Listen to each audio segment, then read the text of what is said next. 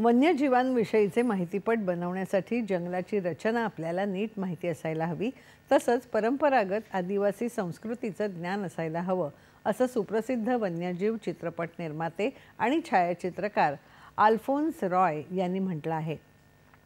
अठराव्या मुंबई आंतरराष्ट्रीय चित्रपट महोत्सवात आज झालेल्या मास्टर क्लासमध्ये त्यांनी वन्यजीव चित्रपट निर्मितीचे आपले अनुभव सांगितले.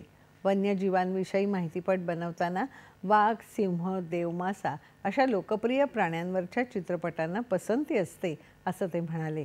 पण अभ्यासकांना ठराविक प्राण्यांपर्यंत मर्यादित न राहता संपूर्ण वन्यजीवन आणि त्यातल्या जैवविविधतेचा अभ्यास करायला हवा.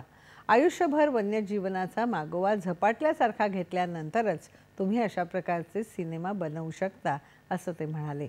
मात्र असे सिनेमा बनवताना प्राणी निसर्ग आणि तिथली शांतता भंग होणार नाही याची संपूर्ण काळजी घ्यायला हवी असं ते म्हणाले.